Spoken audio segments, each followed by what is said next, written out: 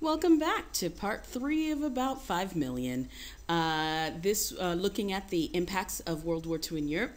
This one is going to look overall at the peace treaties and the overall uh, social impacts. And you've seen these learning outcomes before. Keep at it. Which brings us to um, the Paris Peace Treaties in 1947. Uh, this was basically what the Council of Foreign Ministers uh, came up with in 1947. By the time we get to 1946, um, uh, France has joined the Council of Ministers. Day late, mm-hmm, dollar short, I don't know.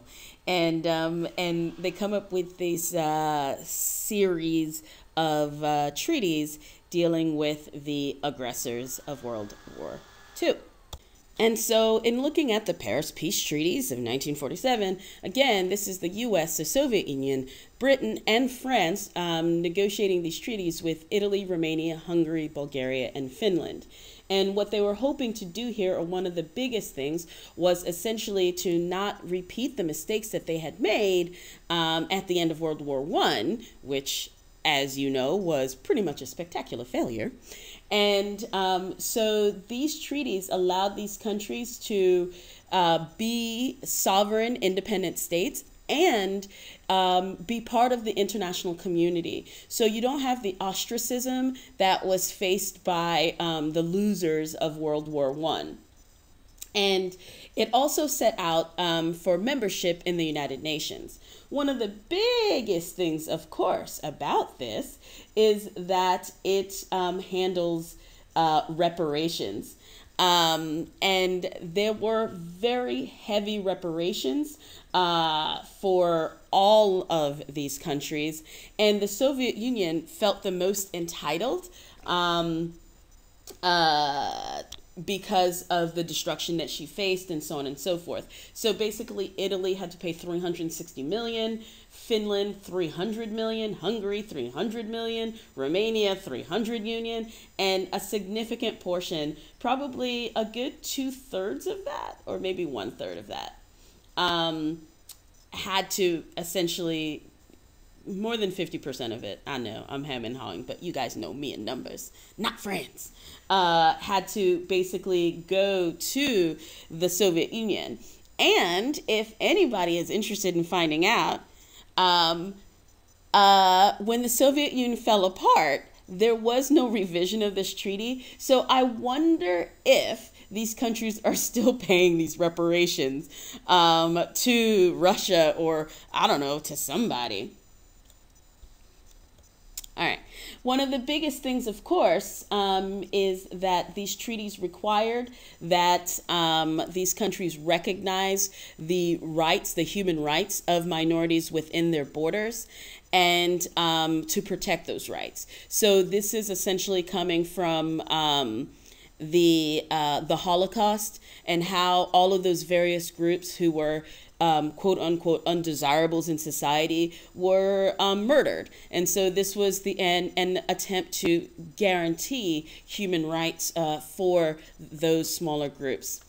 Um, one of the things that they worked to do was to prevent the reestablishment of fascism. So those um, treaties said that these governments uh, had to make sure that fascism would not come about again. And so um, um, and so basically, they, you know, some things were outlawed, so on and so forth. And um, we have massive border changes. We'll look at some maps a little later on. And, um, and Italy loses her African colonies. So essentially, um, uh, the Abyssinian invasion is uh, annulled, and uh, Libya gets to have independence. And, um, and as stated previously, uh, these countries were not to be occupied um, and, and were not to be sort of um, uh, directly managed by outside organization.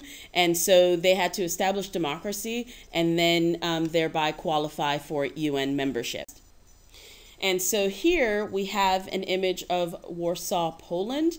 And as you can see, and I've shown you these pictures before, just different cities, um, showing you essentially that this destruction wasn't just isolated in certain areas the way that it was in World War One. Because of airplanes, because of terror bombing, it ha- it is across the entire continent.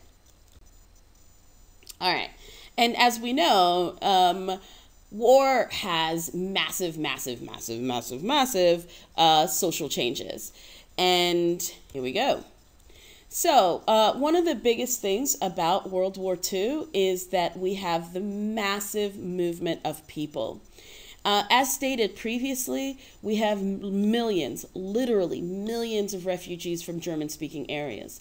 As borders shifted, um, people were forced to move. Essentially, um, uh, you know, at the end of World War One, they tried to create states to um, reflect the ethnic um, composition of areas, and that failed. And so now what they're doing is the borders are not changing quite so much, but they're moving people to form the to to change the ethnic composition of areas.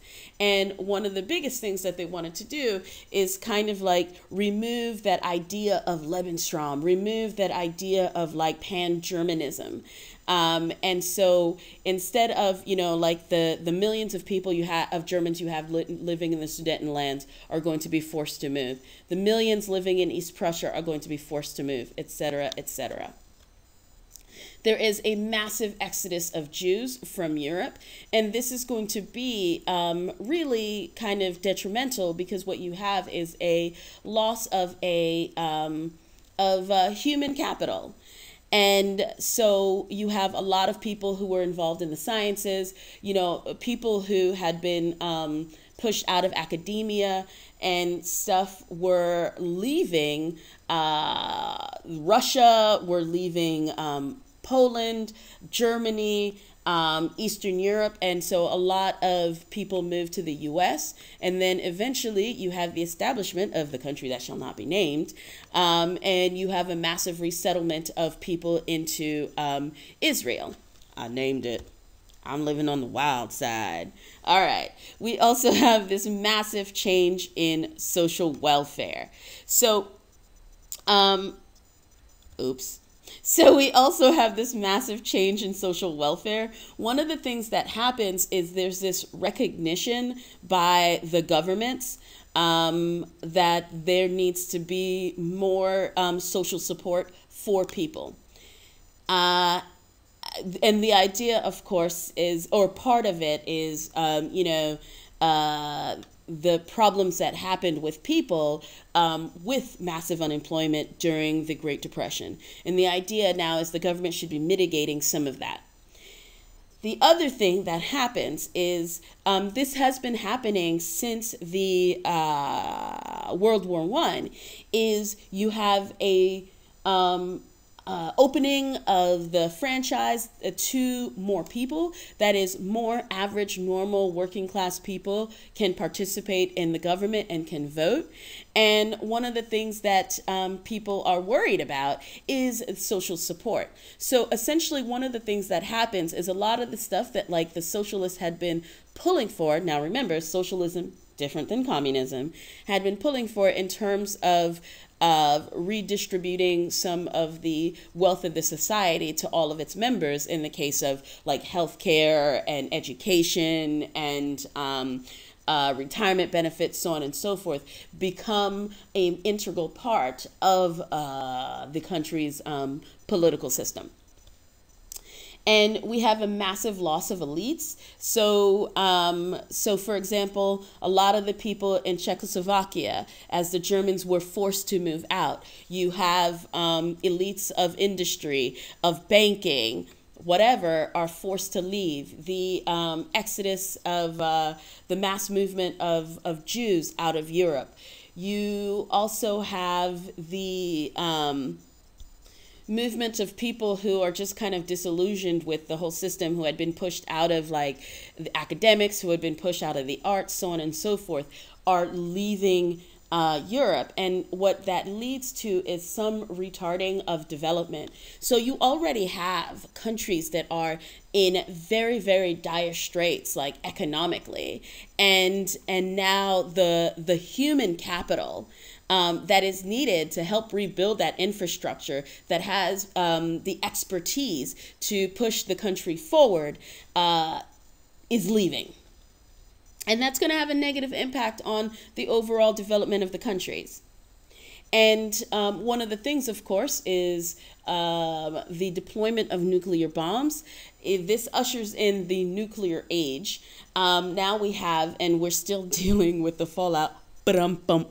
Uh, I hope you got that joke of um, of this today because not only was um, nuclear technology used uh, for weaponry, like in the atomic bombs, but now you have um, it being used uh, for things like um, power stations, for um, things like um, medical equipment and so on and so forth. A lot of experimentation, a lot of development in the sciences. And so um, the post-war period is one is a nuclear age and of course as the um, cold war heats up it really really becomes to the center stage and um, this you see with threats of brinkmanship and use as a deterrent between the um, West and the US and um, uh, Russia.